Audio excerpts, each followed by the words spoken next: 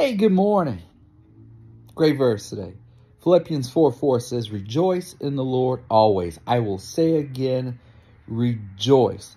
And then he follows along in verse 5 Let your gracious, graciousness be known to everyone. The Lord is near. You know what that word rejoice means? It means to take delight, to, to have great joy. And in this context, we're to take delight in who we are in the Lord. Let me ask you a question. When you go about your day, what do people see? Do people see someone that's maybe aggravated, disgruntled, upset, um, a worry ward? Um, what do they see?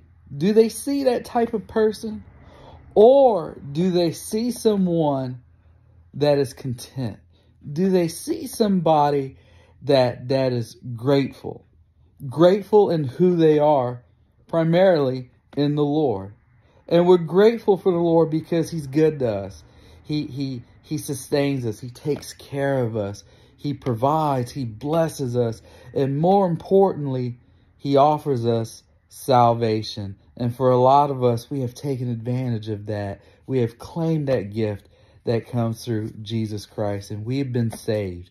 And we need to walk about uh, our lives in a manner when people look at us, they see somebody that's grateful to God, that's constantly rejoicing in the fact that I have been redeemed. I serve a great God. So I, so I encourage you let today be a day as you go about it. When people look at you, they see somebody that's grateful, rejoicing.